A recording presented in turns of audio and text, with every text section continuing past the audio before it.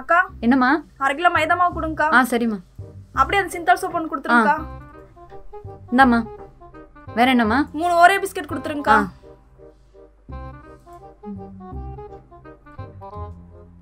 இந்தாம்மா. எவ்வளோ? ஆச்சு?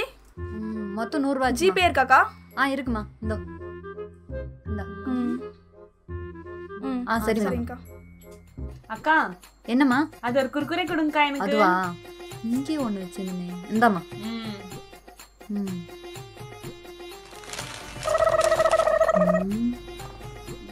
காசு கொடுக்காத பிரிச்சு எடுத்துன்னு பார்த்தேன் அக்கா எவ்வளோக்கா?